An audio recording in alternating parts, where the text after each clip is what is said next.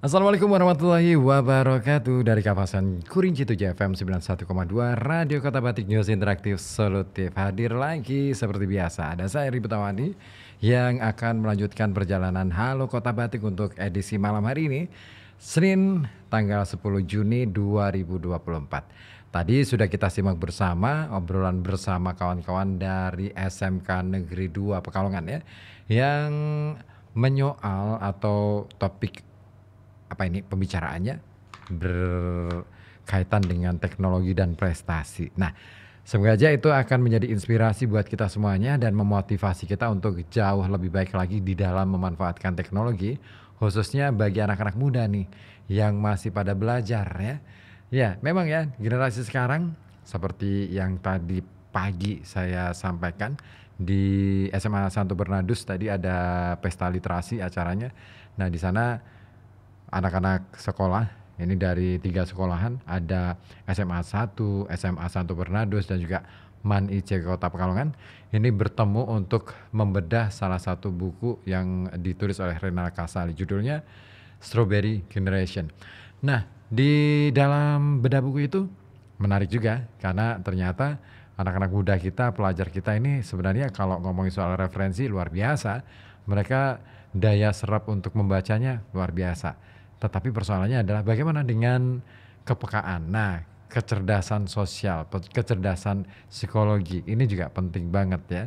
Nah, itu dia. Nah, ini akan menjadi persoalan yang sangat apa ya istilahnya riskan di era sekarang ini. Apalagi di era di apa ya, teknologi digital. Ketika semua orang selalu terkoneksi melalui teknologi dan tentunya kadangkala kita lupa bahwa hal yang tidak kalah penting adalah bagaimana kita saling terhubung secara sosial di alam nyata, di realitas sosial sehari-hari. Nah, dan melanjutkan perjalanan Halo Kota Batik kali ini tentunya saya sudah menyiapkan beberapa informasi untuk Anda dan nanti pada pukul 9 malam saya akan bersama Anda untuk menyimak 6 informasi lokal di RKB malam. Dan pastinya pada pukul 10 malam kita akan bareng lagi di Wedangan. Nah, silakan Anda yang ingin bergabung, Anda bisa memanfaatkan layanan telepon di 02854244474 ataupun melalui WhatsApp di 08554200912. Ditunggu informasi dari Anda ataupun nah, soal informasi Anda bisa menginformasikan nah bagaimana keadaan di lingkungan Anda atau ada peristiwa apa atau ada kegiatan apa atau mungkin berkenaan dengan layanan publik di lingkungan Anda. Nah, boleh Anda sampaikan di sini di 0285424474 ataupun melalui WhatsApp di 08554200912. Pokoknya ditunggu banget ya informasi dari Anda. Oke, sepertinya langit di Kota Pekalongan sudah berkilatan, cuman nggak turun-turun hujan juga nih. Nah, kira-kira di lingkungan Anda, di daerah Anda, apakah sudah turun hujan? Nah, boleh dong diinformasikan ke sini di 0285424474 ataupun 0855 tinggalkan pukul 20 waktu Radio Kota Batik dengan menghujam jantungku. Wow. Iya, dan berbicara tentang hati ataupun menghujam hati. Nah, kira-kira apa nih yang membuat Anda merasa hatinya terhunjam-hunjam. Hmm. nah, oke, okay, saya akan bawakan kepada Anda satu informasi ringan aja sih dari nationalgeographic.co.id. Ini ternyata nih kawan ya, yang namanya kafein ini bisa membuat seekor semut ini jadi lebih pandai bernavigasi. Hmm, bisa ya, bisa banget. ya, seperti yang kita ketahui bersama ya yang namanya kafein jika dikonsumsi dalam jumlah yang banyak itu dapat memengaruhi kesehatan tubuh secara negatif. Ya nggak sih? Iya dong. Namun sebaliknya, jika dikonsumsi dalam jumlah yang sesuai takaran, ini akan memberikan manfaat tersendiri bagi orang yang mengonsumsinya. Meski begitu, apa jadinya jika kafein bukan dikonsumsi oleh manusia, melainkan um, untuk seekor semut? Nah, ada satu temuan dalam sebuah penelitian. Nah, menurut pakar dunia hewan yang menelitinya, kafein dalam dosis yang mirip dengan minuman ber, minuman berenergi, ternyata jika dikonsumsi oleh seekor semut, maka semut itu bisa berna bernavigasi dengan lebih efisien. Nah, teman ini telah dipublikasikan dalam jurnal iScience pada tanggal 23 Mei yang lalu yang judulnya Acute Exposure to Caffeine Improves Foraking in an Invasive Ant. Nah, penelitian ini dilakukan pada spesies semut invasif global, di antaranya semut Argentina atau nama latinnya Line, Linepitema humele. Nah, peneliti mengatakan bahwa memasukkan kafein ke dalam umpan semut ini bisa membantu upaya mengendalikan semut dengan meningkatkan penyerapan umpan. Nah, semut yang menerima hadiah manis yang mengandung kafein ini menjadi lebih efisien dalam menavigasi kembali ke lokasi hadiah dibandingkan dengan semut yang hanya menerima gula saja. Nah, semut yang berkafein ini bergerak menuju hadiah melalui jalur yang lebih langsung, tetapi tidak meningkatkan kecepatannya. Hal ini menunjukkan jika kafein ini juga meningkatkan kemampuan mereka untuk belajar. Seperti dikatakan oleh penulis pertama dari penelitian ini yaitu Henrik Galante, ahli biologi komputasi di Universitas Regensburg, dia mengatakan bahwa ide dari proyek penelitiannya ini adalah untuk menemukan cara kognitif agar semut itu uh, semut itu mengonsumsi lebih banyak umpan beracun yang diberikan di lapangan. Dan ternyata mereka justru menemukan bahwa kafein dalam dosis menengah sebenarnya meningkatkan pembelajaran ketika Anda memberi semut ini sedikit kafein Hal itu mendorong semut-semut itu untuk mengambil jalan yang lebih lurus dan mampu mencapai hasil dengan lebih cepat. Nah, semut Argentina adalah salah satu spesies invasif yang paling berbahaya nih kawan secara ekologis. Upaya pengendaliannya juga telah memakan biaya mahal hampir di seluruh dunia. Dan penggunaan umpan beracun untuk mengendalikan mereka ini justru terbukti efek tidaklah efektif ya. Karena hal ini Kemungkinan disebabkan oleh rendahnya penggunaan umpan dan ditinggalkannya umpan. Nah, oleh karena itu para peneliti ingin menguji apakah penggunaan kafein yang telah terbukti meningkatkan pembelajaran pada lebah madu ini dapat meningkatkan kemampuan semut untuk mempelajari lokasi umpan dan membimbing teman-teman sarangnya kembali ke tempat yang sama. Maka studi ini dilakukan dan hasilnya cukup mengejutkan. Nah, seperti dikatakan oleh Galante, Pihaknya mencoba membuat mereka semut-semut ini lebih baik dalam menemukan umpan itu. Dan semakin cepat mereka pergi dan kembali ke sana, semakin banyak jejak feromon yang mereka temukan. Dan oleh karena itu, semakin banyak semut yang datang. Nah, oleh karena itu juga nih kawan, semakin cepat mereka menyebarkan racun ke dalam tubuh koloni mereka sebelum mereka menyadari bahwa itu adalah racun.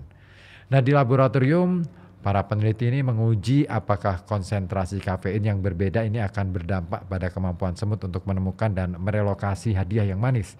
Dan dalam penelitian itu kawan, semut berjalan menuruni jembatan angkat Lego menuju platform pengujian selembar kertas A4 yang dilapisi permukaan akrilik, uh, akrilik, uh, akrilik ya, di mana para peneliti ini meletakkan setetes larutan sukrosa yang dicampur dengan 0,25 ppm, 250 ppm dan 2000 ppm kafein.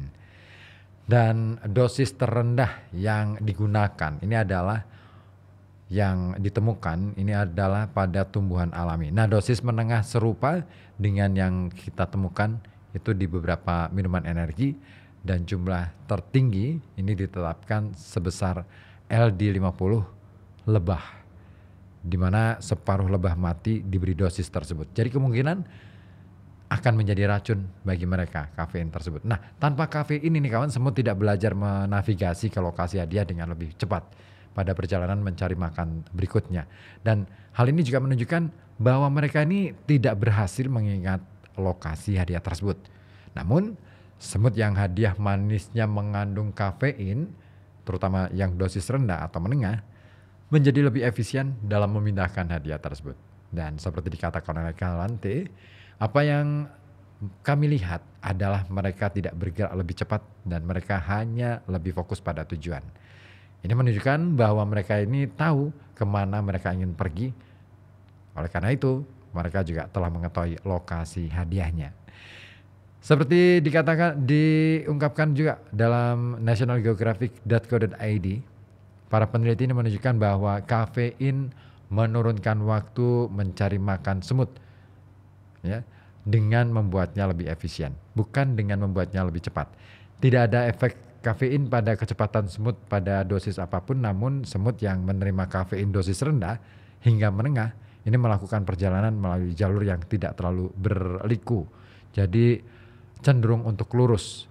Nah, para, peneliti juga optimis kafein dapat membantu upaya pengendalian semut Argentina, namun diperlukan penelitian lebih lanjut. Ya, ada-ada aja ya, semut aja diteliti ya di sana. Woi, keren banget, woi. ya, kita mau meneliti apa nih? Ah. Oke, masih ditunggu informasi-informasi dari Anda di 0285424474 ataupun melalui WhatsApp di 0855420912. Ada Mas Sigit Londo di Dadi Rejo Tirto hadir di edisi Senin malam Selasa seperti biasa aktivitas lembur dan fokus info-info menarik dari RKB. Mau request saja dari Bondan Fed to back uh, to black ya. Feel like home ya. Makasih. Oke. Kok ri kok sih ribut ya. Oke, gelundang-gelundung sembromong. Iya betul. Saya juga di sini ngerasa sembromong banget, ngerasa gerah banget ya. Malam hari ini luar biasa udaranya panas kalau di ruang belakang, tapi kalau sudah masuk ke ruang ini studio ya adem lagi deh. Oke, Bondan ya. Oke deh. Ribut Del Piero. Ada aja sih. Oke deh, terserah lo aja deh. Oke, terus siapa lagi nih? Jafar di Kali Lembu Karang Dadap juga hadir. Jafar di dan Mazul lah Kali Lembu. Salam uh, salam buat Ibu Hobibah ya. Tenong Hikmah Intan Itam ya. Heri Ilah Tarwiji dan lain sebagainya ya. Oke, uh, uh, sapa-sapanya. Oke, siap. Feel like home ya. Saya hadirkan ke ruang dengar. Eh, mana nih feel like home? Haha. feel like home. Kok nggak ada ya? Haha. Ini di tahun berapa ya? Uh, sebentar, saya cari dulu deh. Nah, pokoknya saya tunggu informasi dari Anda juga di 0285424474 ataupun melalui WhatsApp di 0855420912. Tentunya informasi-informasi terbaru dari lingkungan terdekat Anda. Boleh tentang kejadian yang sedang berlangsung di lingkungan Anda atau mungkin ada apa ini um, kegiatan apa di sana atau juga berkenaan dengan ini nih dengan layanan publik di lingkungan Anda. Kalaupun ada masalah boleh dilaporkan kepada kami. Siapa tahu kami bisa membantu untuk menyampaikan ke pihak-pihak terkait. Silakan Anda sampaikan di 0285424474 ataupun melalui WhatsApp di 085420912. Oke, sekali ini saya ingin hadirkan ke ruang dengar Anda. Saya ingin ini dulu deh. Hmm, ini dia nih. Seneng banget nih sama ini. Hani, saya jawab um, gue nanya bentar lagi ya. Sob, ternyata Indonesia itu kaya akan keanekaragaman hayati loh. Dari data LIPI di tahun 2017, Indonesia punya 31.750 jenis tumbuhan, di mana ada 7.000 tanaman yang digunakan sebagai bahan baku obat. Di kota Pekalongan, sudah ada loh tempat yang memanfaatkan herbal, namanya UPTD Balai Pelayanan dan Saintifikasi Jamu. Apa itu saintifikasi jamu? Jadi, Kementerian Kesehatan melakukan penelitian berbasis pelayanan kesehatan, keamanan, dan kemanfaatan jamu. Hasilnya, ada efek yang signifikan untuk meredakan gejala sakit dan sudah terbukti aman. Untuk mendapatkan ramuan saintifikasi tersebut, kita bisa kunjungi klinik saintifikasi jamu di UPTD Balai Pelayanan dan Saintifikasi Jamu yang ada di Jalan Legend Suprapto nomor 5, Kuripan Kertoharjo, Kota Pekalongan atau kunjungi Instagramnya di Jamune BPSJ. Saatnya sehat dengan jamu agar hidup tetap sehat, bugar, dan makin produktif. Pocoan sebentar lagi. Mau beli emas, duitnya belum ngumpul. Eh alah yu, pengen beli emas kok nyanyi-nyanyi tok. Lah terus gimana yu? Lawang belum cukup duitnya, ya nyanyi dulu aja wes. Tak kasih info yu. Saiki kalau mau beli emas bisa dicicil. Jadi nggak usah nunggu uang kumpul dulu baru beli. Bisa-bisa harganya naik lagi. Masa beli emas bisa dicicil? Caranya piye yu? Lewat jasa Gade Syariah Kospin Jasa yu. Untuk perhiasan, sampean bisa langsung milih di toko emas mana pun. Nanti yang proses belikan dari jasa Gade Syariah Kospin Jasa. Setoran tiap bulan tetap meski harganya naik. Lah, untuk yang cicilan logam mulia, lagi ada promo DP juga loh yu. Oh, ya ayo aku diantar ke Jasa Gade Syariah saiki. Jasa Gade Syariah merupakan anak perusahaan dari Kospin Jasa. Dan saat ini, Jasa Gade Syariah memiliki 20 kantor unit yang tersebar di beberapa wilayah Jawa Tengah. Di antaranya, unit Pekalongan, Jalan Dr. Cipto nomor 88 Poncol, Kota Pekalongan. Unit Wiradesa, Jalan Maijen S. Parman nomor 16 Wiradesa atau sebelah timur Kospin Jasa Wiradesa. Unit Kedung Wuni, Jalan Raya Kedung Wuni, Gembong atau Kospin Jasa Kedung Wuni. Beli emas bisa dicicil. Syarat mudah cukup dengan KTP dan DP 20% untuk perhiasan dan 10% untuk logam mulia. Angsuran tetap sesuai syariah. Bisa pilih model perhiasan di toko emas mana saja, tanpa survei, bisa dilunasi dipercepat tanpa penalti. Dan buat Anda yang butuh dana cepat, Jasa Gadai Syariah juga menerima gadai emas, baik emas muda maupun emas tua. Proses cepat langsung cair tanpa survei. Ujroh murah mulai 0,05% per hari. Biaya administrasi mulai 0 rupiah, sesuai syariah, barang dijamin aman, gratis cuci emas. Jasa Gadai Syariah, solusi tepat berlipat manfaat. FM 91,2 FM 91,2 Radio Kota Batik. Radio Kota Batik.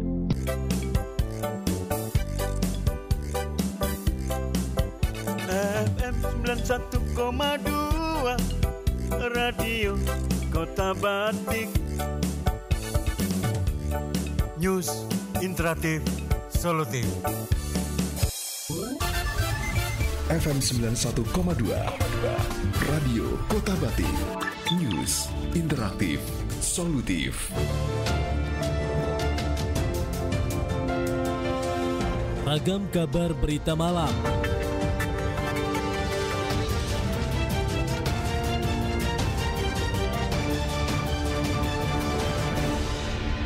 RKP Malam kembali hadir untuk Anda dengan enam informasi yang sudah kami siapkan untuk kami hadirkan ke ruang dengar Anda guna melengkapi kebutuhan informasi Anda untuk edisi Senin 10 Juni 2024 bersama saya Ribut Ahwandi. Informasi pertama, optimalkan mutu pelayanan dan penanganan aduan BPJS Kesehatan bentuk PIC tiap Faskas. Informasi kedua, 50% penduduk kota Pekalongan ajukan SLRT Informasi ketiga, percepat transformasi pendidikan, Dinas Pendidikan Kota Pekalongan gandeng BBPMP Jawa Tengah. Informasi keempat, Dindakop UKM dampingi audit sertifikasi halal RPU Pasar Kulipan. Informasi kelima, sebelum beroperasi Pasar Banjarsari ajukan SLF. Dan informasi keenam, sambut satu dekade program JKN BPJS Kesehatan gelar lomba karya jurnalistik 2024. Kita menuju ke informasi pertama kawan untuk memberikan kenyamanan masyarakat dalam menggunakan pelayanan kesehatan dan menindaklanjuti aduan ketika menghadapi kendala. Badan Penyelenggara Jaminan Sosial Kesehatan Cabang Pekalongan membentuk person in charge, maksud kami person in charge di masing-masing fasilitas kesehatan. Kepala BPJS Kesehatan Cabang Pekalongan, Sri Mugia Sri, Sri Mugi Rahayu menjelaskan, selain melayani aduan, BIC juga akan mengampu permintaan informasi dari masyarakat. Sementara untuk memaksimalkan peran PIC serta rutin pihaknya secara rutin pihaknya melakukan evaluasi virtual untuk menilai tingkat responsivitas petugas PIC. Kemudian jika akan mengganti petugas PIC, ia juga meminta setiap vaskes untuk melaporkan terlebih dahulu kepada BPJS sebab sebelum melaksanakan tugas dan kewajibannya, para petugas yang baru tersebut akan diberikan pelatihan supaya pelayanan aduan dan informasi dapat berjalan dengan optimal. Sri Mugirahayu juga menambahkan saat ini masyarakat ini dapat menyampaikan pengaduan melalui kanal aduan dan permintaan informasi tanpa tatap muka dengan menggunakan aplikasi mobile CKN, pelayanan aduan melalui WhatsApp atau Pandawa serta BPJS online melalui Zoom meeting dan website. Kita beralih ke informasi kedua kawan. 50% penduduk kota Pekalongan ternyata ditemukan banyak yang mengajukan SLRT. Nah seperti diinformasikan berdasarkan data dari Dinas Sosial, Pengendalian Penduduk dan Keluarga Berencana Kota Pekalongan, hingga saat ini terdapat 150 ribu warga kota Batik yang mengajukan diri ke sistem layanan dan rujukan terpadu atau lebih dari 50% penduduk kota Pekalongan. Kepala Bidang Pemberdayaan Perlindungan dan Jaminan Sosial Dinsos P2KB Kota Pekalongan Ahmad Husni menyebutkan dari jumlah tersebut hanya ada 21 ribu keluarga yang lolos verifikasi data dan berhak menerima bantuan dari pemerintah. Sementara 159 ribu sisanya dinyatakan tidak layak mendapatkan bantuan. Husni juga mengatakan SLRT adalah sebuah sistem yang terintegrasi dari kelurahan hingga Kementerian Sosial untuk membentuk, membantu mengidentifikasi kebutuhan masyarakat miskin sehingga dapat terhubung dengan program-program perlindungan sosial. Lebih lanjut, Husni juga mengatakan masyarakat yang ingin terdaftar pada SLRT ke depannya semakin berkurang yang artinya warga kota Pekalongan semakin sejahtera. Ragam kabar berita malam.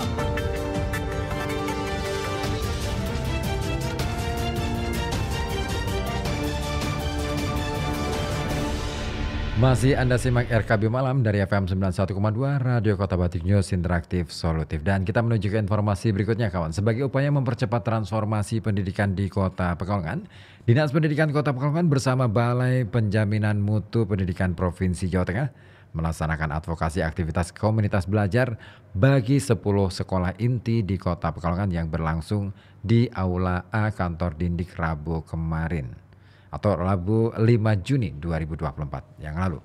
Widya Prada BP, BBPMP Provinsi Jawa Tengah Ngasni menjelaskan kegiatan advokasi ini merupakan rangkaian sekolah inti yang sudah dilakukan oleh BP PMP dan sekolah inti atau sekolah transformasi tersebut bertugas untuk melakukan pengimbasan kepada satuan pendidikan lainnya supaya transformasi pendidikan pelaksanaan implementasi kebijakan Merdeka Belajar bisa berjalan dengan baik dan sesuai dengan jalurnya. Menurut Yasni, dalam kurikulum Merdeka Belajar sangat banyak tema yang harus ditransformasikan oleh satuan pendidikan sehingga sekolah ini inti diperlukan untuk mengawal segala kebijakan dari Kementerian Pendidikan, Kebudayaan, dan Ristek Republik Indonesia. Sementara itu dalam kesempatan tersebut Kepala Bidang SMP Dindik Kota Pekalongan Budi Suheryanto merinci ada 10 sekolah inti yang ditunjuk yang terdiri atas 4 TK yakni TK Masyeto Kramat Sari, Kurota Ayun Kraton, Anissa Jenggot dan Al Irsyad serta 4 SD negeri di antaranya SD negeri Medono 1, Landung Sari 1, Kraton dan Jenggot serta MTS Ribatul Muta'alimin, SMP Negeri 6, SLB Negeri, dan SMA Negeri 4 Kota Pekalongan. Dan dia berharap dari 10 sekolah inti tersebut dapat membantu Dinas Pendidikan dalam pelaksanaan transformasi Merdeka Belajar agar sekolah imbas dapat meniru baik arahan dari Kemendikbud Ristek Republik Indonesia. Dan kita menuju ke informasi berikutnya. Sebagai upaya untuk memastikan produk hewani yang dijual kepada masyarakat sesuai dengan standar halal, sekaligus menindaklanjuti kegiatan pelatihan juru sembelih bagi rumah potong unggas, Dinas Perdagangan, Koperasi dan UKM Kota Pekalongan, mendampingi tim dari Lembaga Pengkajian Pangan, Obat-obatan dan Kosmetik Majelis Ulama Indonesia Jawa Tengah untuk melakukan monitoring dan audit sertifikasi halal di Pasar Kulipan 6 sampai 8 Juni lalu. Kepala Bidang Koperasi dan UMKM Dindakop UKM Kota Pekalongan Nugroho Happy Kuncor menjelaskan setelah dilakukan audit lapangan nantinya akan dilanjutkan dengan penilaian oleh tim auditor LPP LP POM MUI Jawa Tengah dan ditargetkan 15 RPU di Pasar Kulipan ini akan mengantongi sertifikat halal. Menurut Happy, kegiatan monitoring ini merupakan pembekalan kedua untuk melihat praktik yang dilaksanakan di lapangan sudah memenuhi standar syariat atau belum. Dan Happy berharap setelah bersertifikasi halal, kegiatan yang berkaitan dengan makanan daging unggas ini tidak perlu lagi keluar kota, cukup di RPU Kuripan. Dan nantinya secara bergelombang RPU yang lain akan mengikuti jejak yang sama sehingga bisa tercapai kenyamanan dan keamanan bertransaksi karena sudah sesuai dengan syariat agama dan ketentuan negara. Dan masih ada dua informasi lain kawan di RKB Malam. Jangan ke mana-mana, tetap di sini di FM 91,2 Radio Kota Batik News Interaksi. Di Senin 10 Juni 2024. Kita menuju ke informasi berikutnya kawan. Pembangunan kembali Pasar Banjarsari rupa-rupanya harus mengantongi sertifikat layak fungsi sebelum dioperasikan. Sertifikat ini merupakan untuk menyatakan kelayakan fungsi bangunan gedung sebagai syarat untuk dapat dimanfaatkan. Seperti diungkapkan Kepala Bidang Pasar dan Pembinaan Pedagang Kaki Lima pada Dinas Perdagangan, Koperasi dan UKM Kota Pekalongan Dedi Setiawan, tujuan keharusan mengantongi SLF ini untuk memastikan sebuah gedung bangunan aman dan sesuai dengan standar yang ditetapkan sehingga dapat digunakan oleh penghuni dengan aman dan nyaman. Nah, menurutnya dari pengajuan SLL SLF ini Gedung Pasar Banjarsari ini akan diuji dan dilakukan pengecekan dari segi proteksi kebakaran, petir, limbahnya, dan komponen persyaratan SLF lainnya. Jadi juga mengatakan setelah LSF dipenuhi, pihaknya akan mengajukan Pasar Banjarsari agar berstatus standar nasional Indonesia. Dan satu informasi terakhir kawan, dalam rangka menyambut 10 tahun program Jaminan Kesehatan Nasional, Badan Penyelenggara Jaminan Sosial Kesehatan Republik Indonesia menggelar Lomba Karya Jurnalistik 2024 dengan tema besar Potret Satu Dekade Perjalanan Program JKN di Indonesia – Staf Komunikasi dan Kesekretariatan BPJS Kesehatan Cabang Pekalongan Nita Setiawati menyebutkan lomba ini tersedia untuk beberapa kategori meliputi kategori media cetak, online, foto jurnalistik, televisi, dan juga radio. Nita menyampaikan pengiriman karya dapat dilakukan paling lambat 31 Juli 2024 melalui https uh, bit.ly garis miring Lomba Karya Jurnalistik BPJS Kesehatan 2024. Nah, Tita juga menambahkan BPJS Kesehatan Republik Indonesia ini telah menyiapkan total hadiah ratusan juta rupiah bagi para pemenang dan beberapa indikator penilaiannya meliputi keaslian karya, kreativitas, kesesuaian tema, dan nilai estetika dari karya. Ya teman kawan, enam informasi di kesempatan kali ini edisi Senin 10 Juni 2024 di Ragam Kabar Berita Malam sudah kami hadirkan ke ruang dengar Anda dan tetap nantikan informasi-informasi lainnya terbaru dari RKB untuk tentunya di program-program lain seperti RKB Pagi, RKB Sore dan juga Halo Kota Batik. Nanti pada pukul 22 nanti ya kita akan kembali bersama di Wedangan.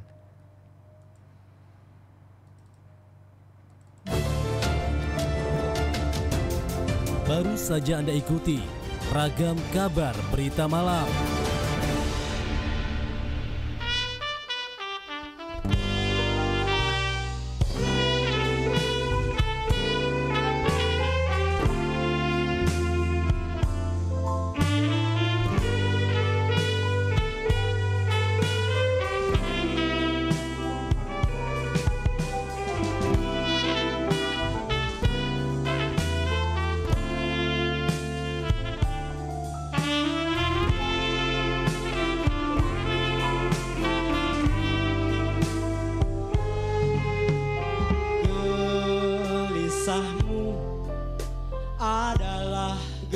kisahku.